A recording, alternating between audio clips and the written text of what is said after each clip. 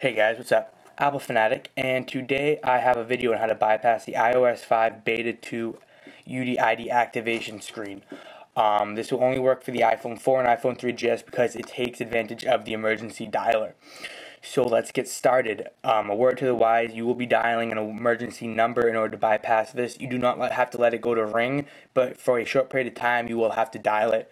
Also, this will be require a jailbreak at which time, unless you're running an iPhone 3GS old boot ROM, it is tethered.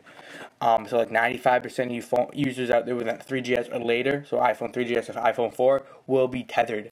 Um, which basically means you have to plug it into your device, your computer every time, whether it's a Mac or PC, you plug it in every time you need to use it.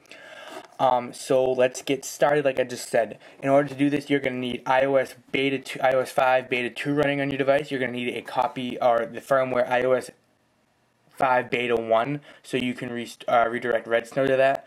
Um, but yeah, let's let's go. So once your device has rebooted, or once it's restored to um, iOS 5, just show it is on iOS 5 beta 2. There you go. You're gonna want to go ahead and open up Redsn0w the version of Red Snow, I believe, is um, let's see, where is it? Right here, Red Snow.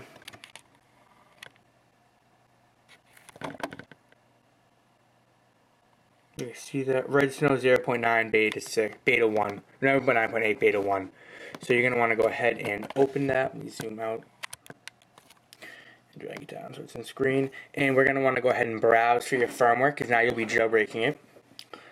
Um, and of course, if I didn't mention already, don't go ahead and touch this because it will screw up your device. If you um, have, don't touch it yet. Don't do anything because um, the, be the beta bypasser will work. However, it's kind of pointless because you uh, will not be able to plug it into your, your iTunes.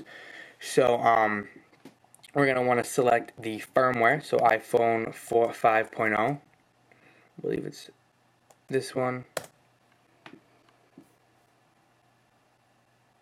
So once it's identified, you're just going to want to go ahead and hit next.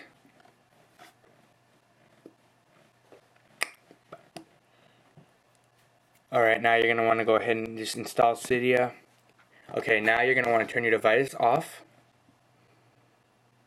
making sure it is plugged into iTunes or into your computer at this point and make sure iTunes is closed or iTunes should actually automatically close once Redsn0w opens up.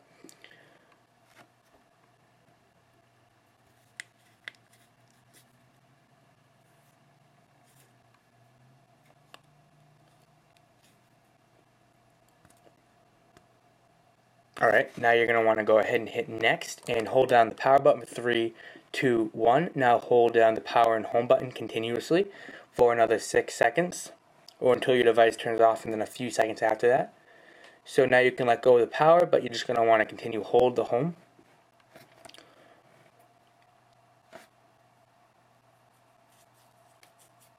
Alright, so now you can see on the screen that it is doing its uh, thing.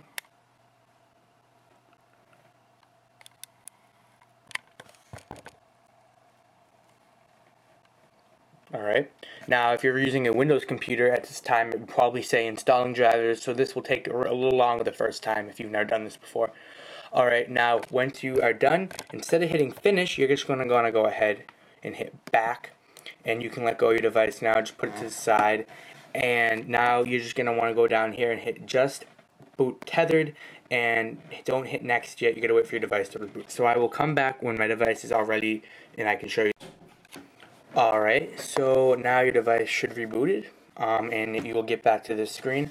At this time your device will still be tethered, so like I said before, you have now checked just boot tether now. You're going to hit next, and now you're going to want to go ahead and we're going to do the same whole procedure again.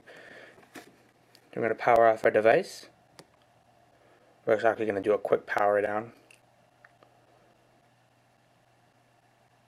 And now we're going to hold the power button for 3, 2, 1. Now let go of the power, but continue holding the home. And at this time, you can go ahead and just hit the next button. It doesn't really matter what time you hit the next button, just as long as you hit it. So now it's exploding with lime rain. It's uploading the first stage.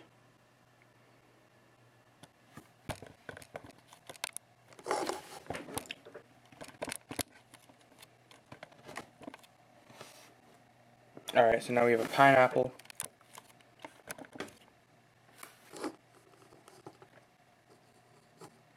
Alright, now you can hit finished on Red Snow. And the next part, I will come back when it's done rebooting. And we can show you the by this time, you um, should um, have gotten to the the, um, the the- the uh, iPhone screen. Now just going to slide to setup, and you're going to select English, hit the next button or whatever language you speak, hit the next button, and double click, the, double tap the home button. And you'll get the emergency call. Just going to hit emergency call. Now I'm going to go ahead and just dial 112. I'm to hit call. You're going to want to hit the home button once now.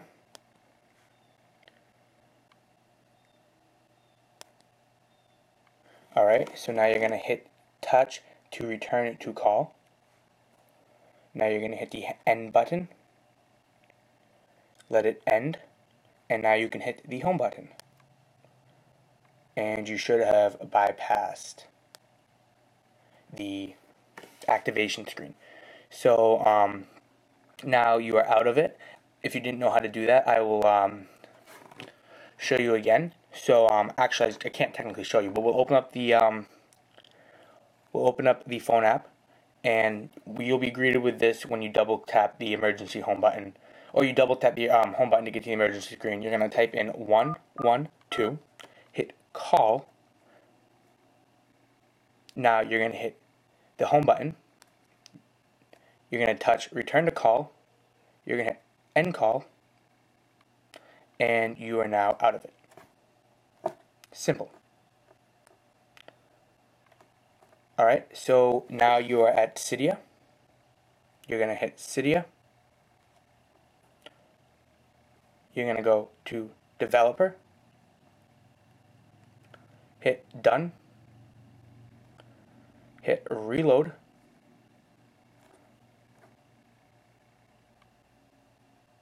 And at this time, you still won't have any bars at the top and I'm not gonna have bars because I'm on T-Mobile and I'm, I like I, I don't use this as a phone. I use this as a um, what do you call it? I use it as a iPod.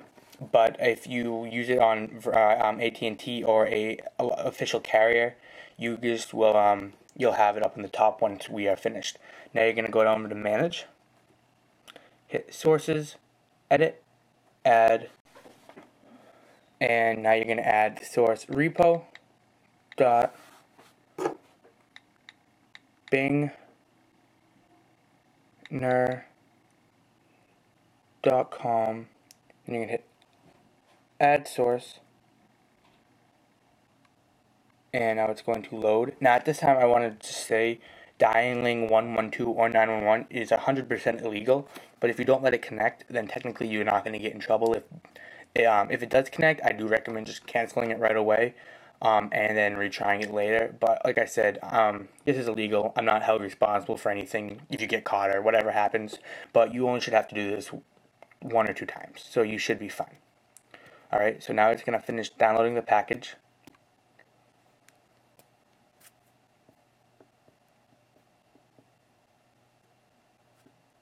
You're gonna want to hit return to Cydia. So this is purely educational. If you get in trouble, don't blame me.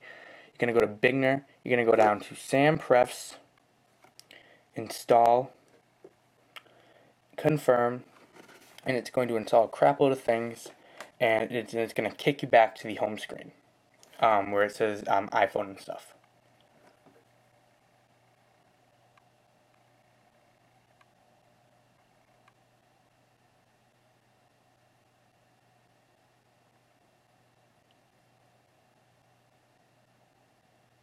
Alright, so now you're kicked out. You're going to double click the home screen again. I mean, double tap the home button again.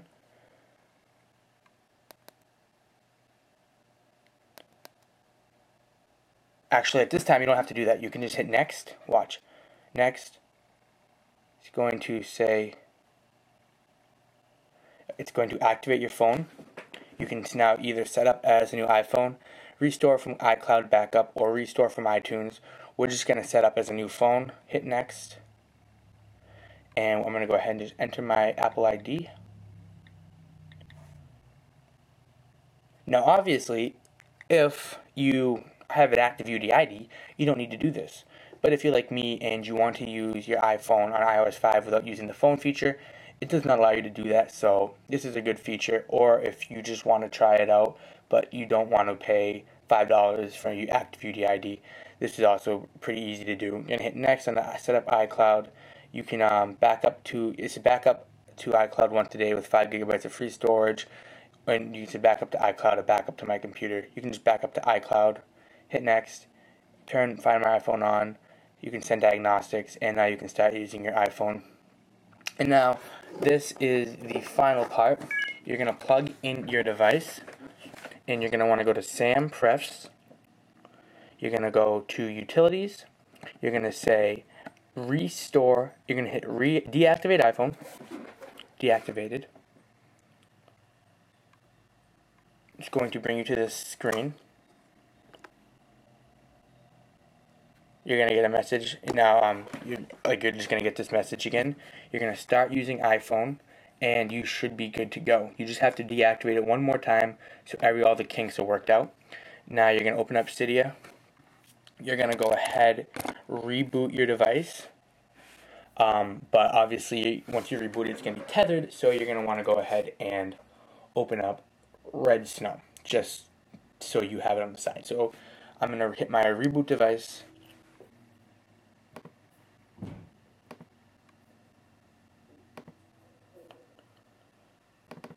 We'll open up Redsn0w one final time. We'll hit browse. Um, only reason I'm not showing you this is because you've seen it all before. We'll go over to iPhone, the firmware.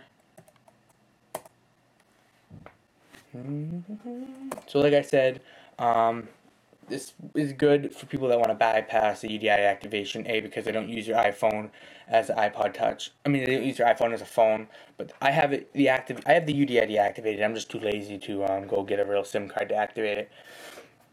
Now we're just gonna hit boot tethered, and one last step. We're gonna just turn our device off.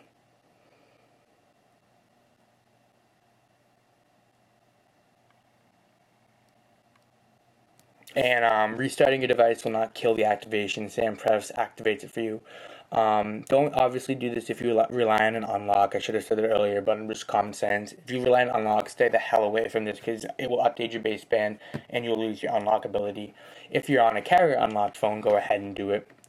Um, won't really kill anything. And yeah, that's pretty much it. So now our device is rebooted. It's rebooting. We're done. Hit finish. Pause the video. Come back real quick just to show you that it in fact does work.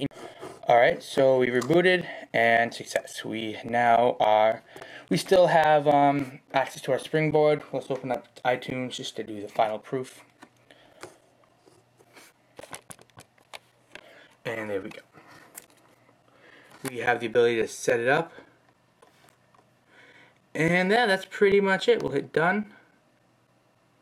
Hit no, and as you see below, we now have the ability to do Wi-Fi sync. So guys, I hope you enjoyed that. Yeah, that's my finger, my bad. So, for Apple Fanatic, this is me saying peace. and